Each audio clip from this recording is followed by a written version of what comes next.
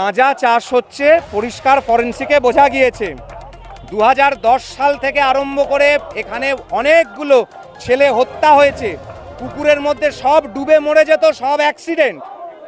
একটা ছেলে, নদিয়ার ছেলে, গলায় তুলসীর কণ্ঠি ছিল, একটা সাদা মাটা, সাধারণ ছেলে পড়তে এসেছিল। তাকে রেপ করা হয়েছে, সারা শরীরে সিগারেটের ছ্যাঁকা দিয়ে, তার শিরদাঁড়া ভেঙে সে ছাদ থেকে পড়ে আছে। তাকে ধাক্কা দিয়ে ফেলে দেওয়া হয়েছে, নাহলে মেরে ফেলা হয়েছে। তার বিচার হবে না।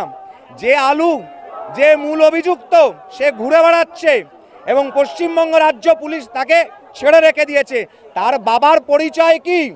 সে নিজে তো একটা সিপিএম এর কোলের মধ্যে থাকা নকশাল মাওবাদী সংগঠনের সাথে যুক্ত। যাদবপুর ইউনিভার্সিটির কোন কোন প্রফেসর এই সব নকশালবাদের সঙ্গে যুক্ত? যাদবপুর ইউনিভার্সিটি বলা হয়, পুলিশ ঢুকতে পারবে না। কোন নিয়মে ঢুকতে পারবে না? কোন আইনে ঢুকতে পারবে না? ভিতরে গাঁজা চাষ হচ্ছে, পরিষ্কার দেখা যাচ্ছে। কেন ঢুকতে পারবে না? এনফোর্সমেন্ট ব্রাঞ্চ আছে, তারা কেন ঢুকবে না? ইউনিভার্সিটি তো গাঁজা চাষের জায়গা নয়। একটা ছাত্র মৃত্যু হলো সেদিকে রাতে যারা পুলিশ ঢুকতে পারল না, তার ফলে ইম্পর্টেন্ট এভিডেন্স ফরেন্সিক এভিডেন্স লোপাট হয়ে গেল। তার দায় কে নেবে? ছাত্রছাত্রীরা নিক, পুলিশও নিক, পুলিশ কেন ঢোকেনি? পুলিশ যদি এসে দিয়ে বলে, তোমরা ঢুকতে পারবে না, ওরা বাবু সোনার মতো চলে যায়, ঢুকতে পারব না। একটা বাচ্চা ছেলে মারা গেল। তাকে মারাটা, লুকানোর জন্য চার চারটে জিবি করা হলো। জিবি করে বল, ঠিক করা হলো, কি স্টেটমেন্ট দেওয়া হবে, এটা আটকানোর জন্য। এরা স্টুডেন্ট না মার্ডার এরা তো সুন্দর একটা পদক্ষেপ, যদি হয় তো আমরা খুব খুশি হব। তার থেকেও বেশি, এই ছাত্রছাত্রী যারা, সাধারণ পরিবার থেকে উঠে আসে, যাদবপুরে যারা পড়ে, আমাদের করের টাকায় পড়ে, তাদেরকে একটা জিনিসই বলা, কলেজে পড়াশোনা করতে আসছেন পলিটিক্সটাও করছেন, করুন, অসুবিধা নেই।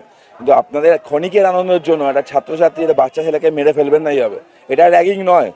কোনো, আর র্যাগিং ভদ্র সমাজে অ্যাকসেপ্টেডও নয়।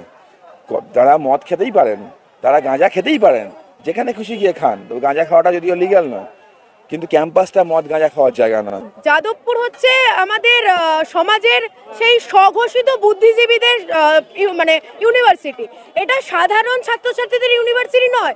তাই যারা স্বঘোষিত স্বঘোষিত বুদ্ধিজীবী, যারা তথাকথিত এলিট ক্লাস ইউনিভার্সিটি, পাঁচতারা ইউনিভার্সিটি, যেখানে প্রত্যন্ত গ্রাম থেকে সেই ইউনিভার্সিটির নাম শুনে বাবা মারা পাঠাচ্ছে এবং বিভিন্ন ছাত্রছাত্রীরা, তারা স্বপ্ন দেখছে ভবিষ্যতে তারা একটা ভালো জায়গায় যাবে, ভালোভাবে শিক্ষিত হবে।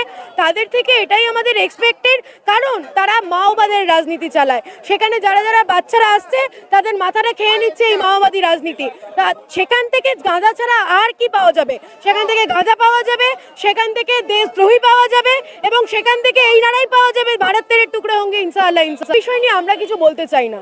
তার কারণ হচ্ছে যে মানুষটা আমরা দেখতে পাচ্ছি হঠাৎ করে হাঁটতে হাঁটতে অজ্ঞান হয়ে গেল, তার জন্য আমরা বলব আমাদের তাদের মাননীয়া মানে আমাদের সবার মাননীয়া এবং তাদের দলনেত্রী। এই সবাইকে একটা দেন না অস্কার, তারপরে হচ্ছে কি যেন নায়িকা, মহানায়িকা, এই অস্কারগুলো তাকে দেওয়া হোক, তাদের দল তরফ থেকে।